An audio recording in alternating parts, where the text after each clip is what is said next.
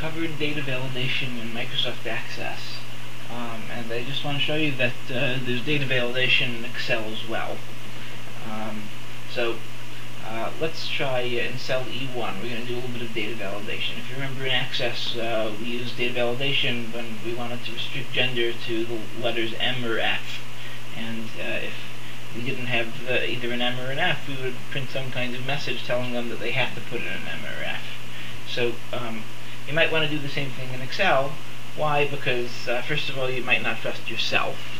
Uh, you might not uh, remember to put uh, data within within a specific range or uh, meeting certain criteria um, in a specific cell, or you might be giving the spreadsheets to be filled in by other people who you don't necessarily trust to know absolutely what they're doing. So you would want to enforce uh, the integrity of the data.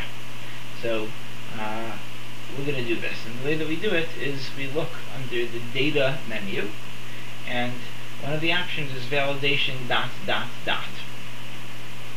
Um, and here the initial uh, data validation settings are to allow any value in this cell um, and also to ignore blanks such that um, if they don't type any anything at all but leave it blank it also won't complain. Um, but we could choose other criteria for the validation. So for example, we could select that it has to be a whole number, and if we select a whole number, we might want to specify a range of those whole numbers. We could say that we want a decimal number. Um, we might want to specify a list of various options, such that, for example, M or F, or if we were having uh, a bunch of uh, values, uh, let's say true or false, or things like that. Um, date, we would want to to a date or to a time, or to if you have text to a specific length, or finally custom. Um, so let's say we choose just to start off with a whole number. So here it will make it a whole number. You can't put uh, fractions, uh, decimal points. So it would have to be an integer like the value 23 or 54. You couldn't have 54.2. Um, and then furthermore, after specifying a whole number, you could check off or you could leave out whether we're going to ignore blanks. So, for example, now you could have 54, or you could just leave the entire cell blank. Um, but if you check this off, you couldn't leave it blank. It would have to be a whole number. And the data could be between, and then you can specify a minimum and a maximum. So let's try this simple thing. A minimum here of uh, 45, and a maximum of 66.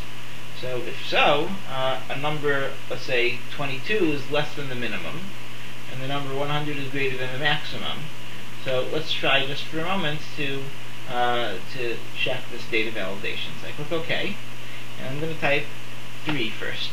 And it's going to complain, the data you uh, the value you entered is not valid. The user has restricted values that can be entered into this cell.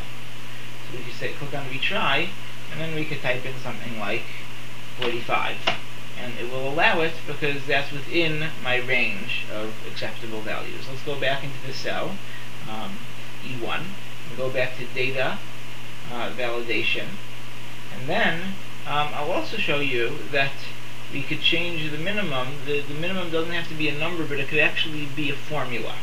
So for example, I could say equals A1. You see, beforehand I put the value 34 in A1. I could change that value at any point, um, here's a very simple formula, it just equals A1. So it's between A1 and 66. So I'm going to click OK. And then, um, we'll, we'll, now instead of be, being from 45 to 66, it's from 34 to 66. So now if I try to put a, um, a 40, it will allow it.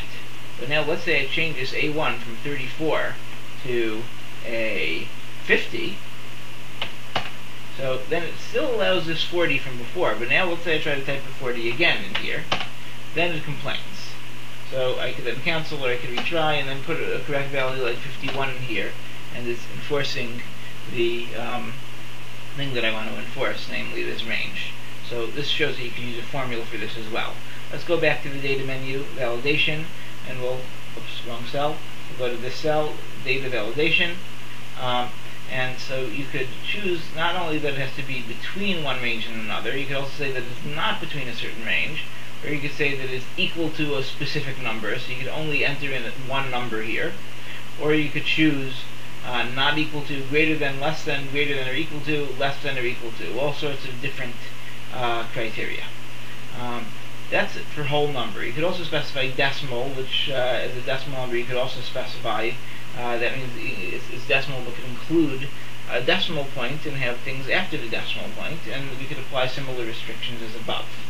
Um, we also have uh, date, and then you could have, again, a date between some start date and end date, uh, time, and you can specify if it's text, that the text length should be between, let's say, um, between oops, 5 and 6. And then, if I try to put in the word H, the, just the letter H, it'll complain.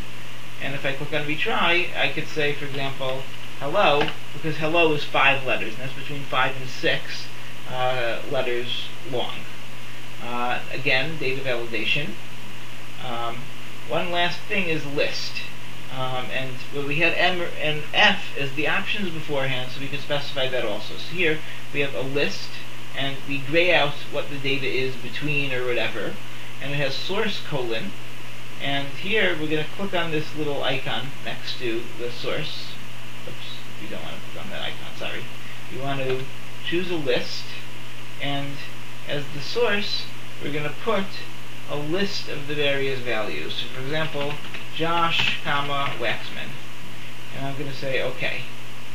And now, if you notice, there's a drop-down arrow next to this cell E1.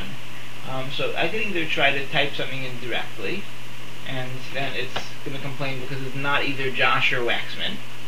Um, I could actually type the words Josh in here, and it will accept it as because from the list. But also, since it's a list, uh, and, and, we have the data validation for the cell turned on, I could click on the drop-down list here, and it'll show me the two options that I could put in here, either Josh or Waxman. It doesn't have to be two options, it could be a total of eight options, really. Um, and once again, you could apply this data validation to other cells as well by using this, uh, moving the mouse to the bottom corner of the cell and clicking and dragging. And see, we could apply um, data validation now to every single cell.